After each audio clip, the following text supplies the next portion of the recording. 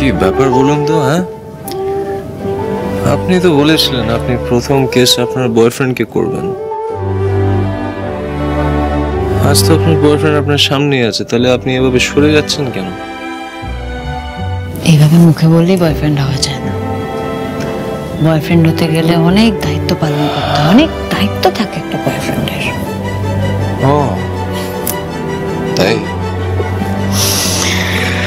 আচ্ছা টুবাইদা হ্যাঁ। তুমি যে বলেছিলে দুটো ভালোবাসার মানুষ যখন এক হয়ে যাবে হুম। তখন এই সপ্তর্ষি মণ্ডলের পাশে আর একটা সপ্তর্ষি মন্ডল জুড়ে যাবে।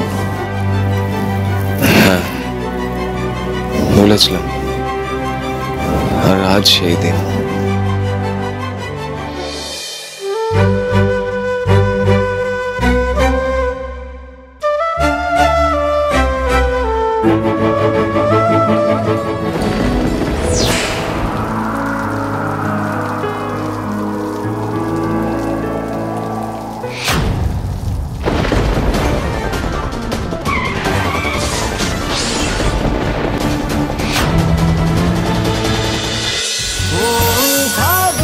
মন ফাগুন। সোম থেকে রবি প্রতিদিন রাত সাড়ে আটটায়। স্টার জলসায় ও ডিসনি প্লাস হটস্টারে।